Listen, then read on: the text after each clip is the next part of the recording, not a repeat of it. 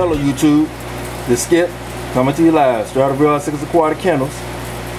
Just want to give you guys a brief update on my 30 gallon breeder size saltwater aquarium. One of the most inexpensive setups you can find on the web. Like I mentioned before in my previous video on this tank, the filtration, the protein skimmer that you see right before you that soon will be hidden behind this dead coil like the filters are.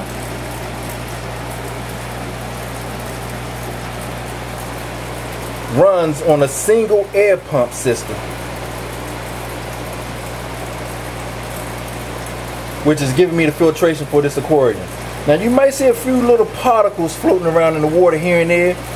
And that's because I just finished feeding these guys. And mainly I've been feeding my new additions, my feather dusters. Tube worms. These guys are awesome. I'm in the process of trying to train them to come out on cue. As soon as I turn on the light, I want them to come out because sometimes they'll go in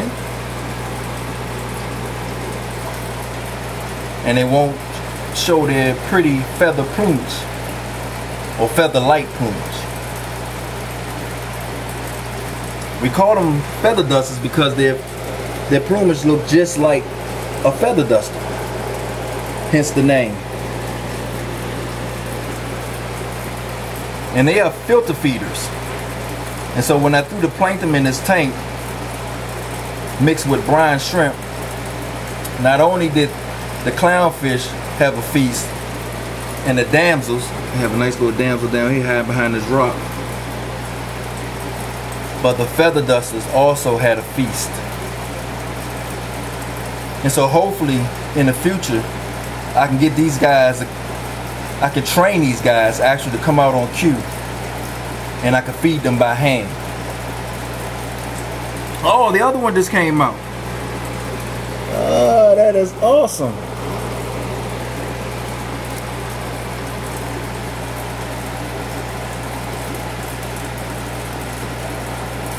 Now some of you may or may not know that these guys move around freely. This particular one was not up top on this rock when I first placed him in this aquarium. Actually, he was down here with the rest of the guys.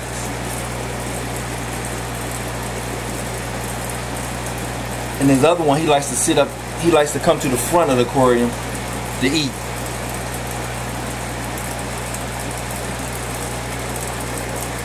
The two that they are housed in, that they feel safe in, is a result of them excreting this liquefied adhesive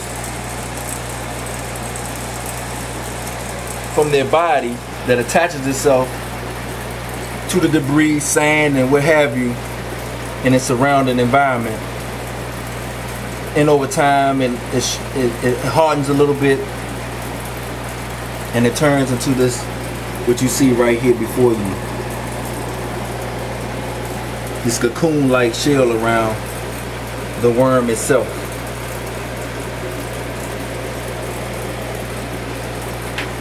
So I just want to give you guys a brief update. Those was not only the fish facts, but the aquatic facts. This skip I'm out.